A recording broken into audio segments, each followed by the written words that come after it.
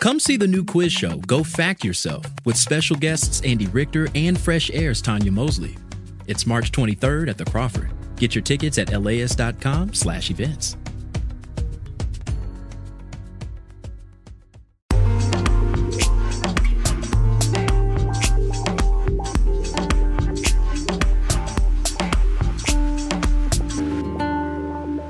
LAist Studios. Today on the LA Report.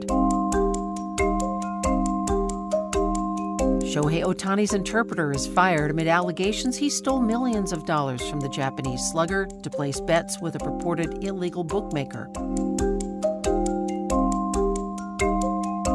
Governor Newsom announces a clean air partnership with a major automaker.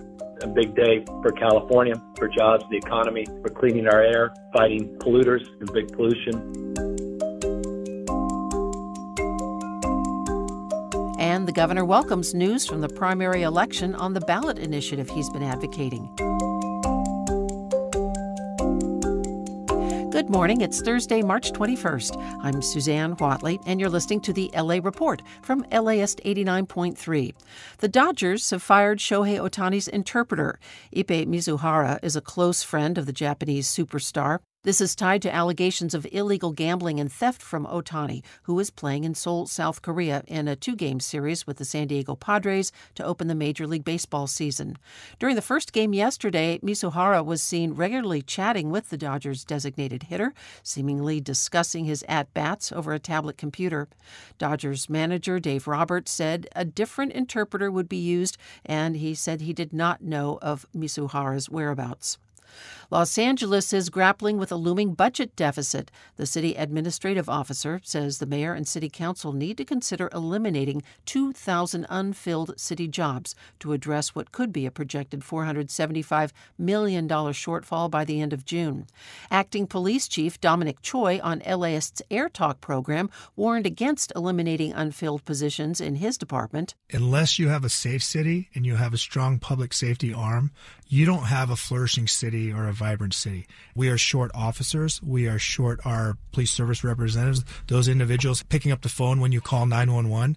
One of the reasons for the city budget deficit is the generous pay raises that the mayor and council approved for police officers last year that will add nearly $400 million to the LAPD's budget by the year 2027.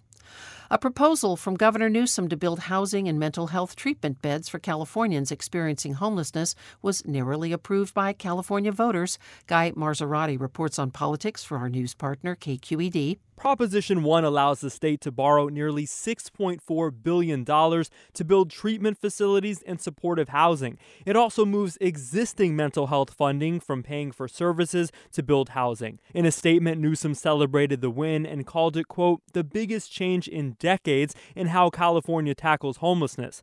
The governor led the Yes campaign, which vastly outspent opponents, but he ran headlong into a more conservative primary electorate, leading to a nail biter result result that took weeks to resolve. For the California Report, I'm Guy Marzorati. Automaker Stellantis has signed a series of agreements with California to meet the state's clean car standards.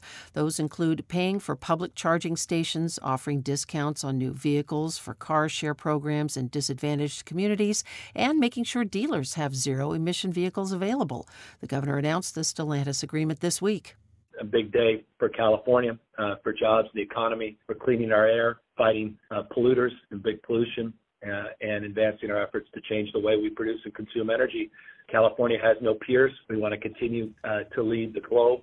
Stellantis is the fourth largest automaker in the world. Its brands include Chrysler, Dodge, Jeep, and Fiat. The agreement comes days after the release of a report that concludes that the state will need to nearly triple its rate of greenhouse gas reduction to meet its 2030 climate goal.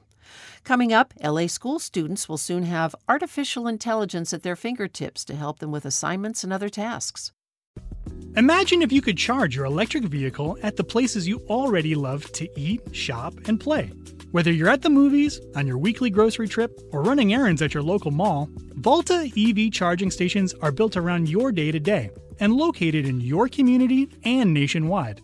All you have to do is check in, plug in, and go about your day. It's EV charging made convenient. Download the Volta app to find your new favorite place to charge. Back now to the LA report. The University of California system has taken a step forward in prohibiting academic groups from posting political language on their websites. LAist higher education correspondent Adolfo Guzman Lopez reports on a ban that the Board of Regents is considering. The plan would forbid UC academic departments, labs, institutes, or schools from posting political speech on their main websites, but would allow such language on faculty pages and other website pages. Supporters say this rule is needed after the current Israel Hamas war led to heated language, activism, and actions on campuses. And posting political speech isn't essential for the running of academic departments and other units. The regents meeting in Los Angeles have voted to delay consideration of the proposal until they reconvene in May. A new AI platform is coming to the Los Angeles Unified School District. LAist reporter Ellie Yu says it's for students and their parents. Students can log on to this new portal called ED. It's sort of like a one stop shop where they can learn about their current grades, their assignments, what's for lunch, or where their bus is. They'll have access to an AI chatbot named Ed where they can ask questions in real time in 100 languages. District officials say the platform is aimed to democratize information and allow students access to data the district already has. They say students will get individualized action plans through the program. I'm Ellie Yu. In the weather forecast, low clouds and fog will clear to sunshine, maybe some haze this afternoon. Temperatures will range from the upper 60s to mid 70s.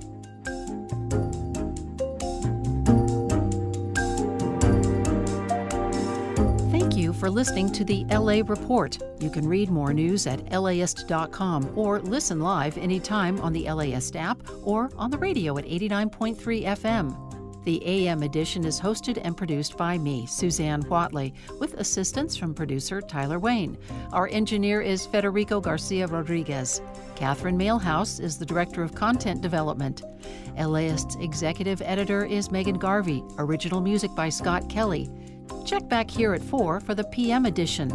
Listeners like you help make the LA Report possible. Please donate at laist.com/join. And the LA Report is supported by Gordon and Donna Crawford, who believe quality journalism makes Southern California a better place to live.